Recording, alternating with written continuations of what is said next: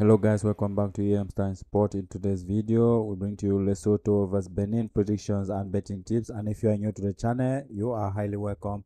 Please do consider subscribing, liking, and sharing the video as we continue to bring you the best. Lesotho and Benin lock horns at the Orlando Stadium in Johannesburg, South Africa on Tuesday in the 2026 FIFA's World Cup qualifiers.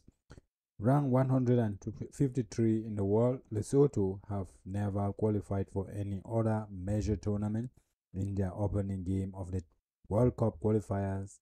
The Crocodiles were held to a 1-1 draw by Nigeria. Mela Mkhwanazi put them in front after 56 minutes, but Semi Ajayi equalized for the Super Eagles after 11 minutes. Benin, though, went down two goals to one to South Africa in their opening uh, qualifier. Percy Tau put the Bafana Bafana in front after just two minutes before Khuliso Mudau made it two goals to zero before the break.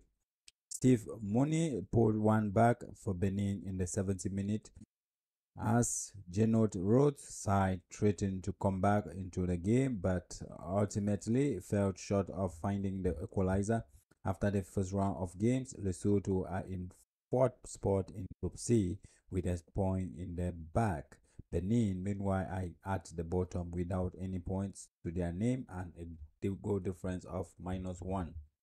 Statistically, we predict a Benin win over Lesotho with a score margin of one goal to zero, and we are predicting under 2.5 goals in this game. And both teams not to have the opportunity to score. What are your own viewpoints, guys? Let us know what you think concerning Lesotho versus Benin